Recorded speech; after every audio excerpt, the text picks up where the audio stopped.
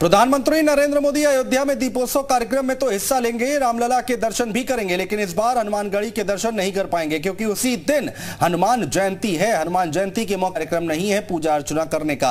हनुमानगढ़ी में दीपोत्सव के मौके पर क्या खास तैयारी है? इस पर जी मीडिया संवाददाता ने मुख्य पुजारी राजू दास से खास बातचीत की।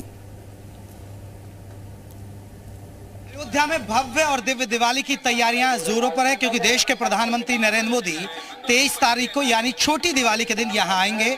और देखिए, हनुमानगढ़ी के अंदर क्या तैयारी है, इस पर खास बातचीत करने के लिए हमारे साथ आपको बता दें, हनुमानगढ़ी के मुख्य पुजारी राजू दास जी हैं। सर बहुत बहुत बहन जी, स्वागत है आपका। दिवाली आ गई है, क्या खास तैयारी चल रही है हनुमानगढ़ी के अंदर?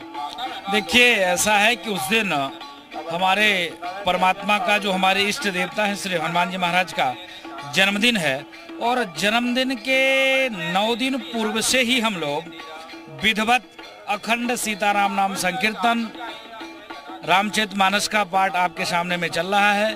वाल्मीकि रामायण सुंदरकांड पाठ, इसके साथ साथ अन्य वैदिक मंत्रोच्चारण के साथ विधवत पूजन नौ दिन पहले से स्टार्ट हो जाता है। उस दिन का नज़ारा कुछ अलग ही रहेगा, क्योंकि उस दिन देश के सचिव प्रधानमंत्री जी के द्वारा भगवान श्री राम का अगवानी करेंगे जब भगवान राम पुष्पक विमान से हेलीकॉप्टर से आएँगे तो उनको पहले प्रणाम करेंगे और प्रणाम करके विधवत उनको लाएँगे भगवान राम का राज्याभिषेक करेंगे। प्रधानमंत्री नरेंद्र मोदी आ रहे हैं लेकिन कहते हैं कि हनुमानगढ़ी के दर्शन ज़रूर करते हैं लेकिन हनुमान जयंती पड़ रही है उस दिन इसलिए ये आने का कार्यक्रम नहीं रहेगा नहीं नहीं देखिए क्या है कि आ, कुछ प्रधानमंत्री जी का वो सुरक्षा व्यवस्था के भी होता है।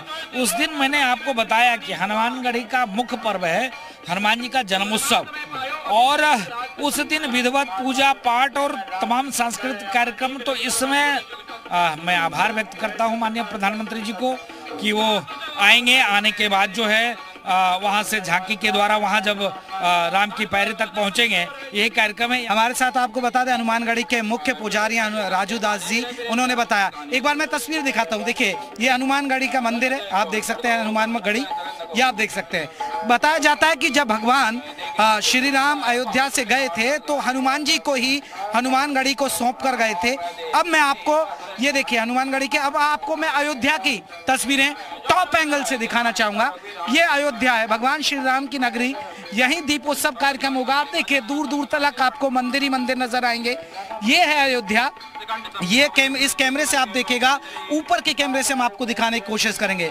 और जिस तरह राजू दास जी कह रहे हैं कि 24 लाख दिए जलाए जाएँगे पूरे अयोध्या में और खासकर धार्मिक स्थलों पर, ये एक खास बात है। आप देख सकते हैं दूर दूर तक आपको मंदिर ही नज़र आएँगे, क्योंकि भगवान श्री राम की नगरी है और हम हनुमानगढ़ी में है। तो आप अंदाज़ा लगा सकते हैं, खास तैयारी है इस पर्व को मनाने के लिए और जो अपने आप में एक वर्ल्ड रिकॉर्ड होगा। कैमरामैन डेविड के साथ जयप्रकाश शर्मा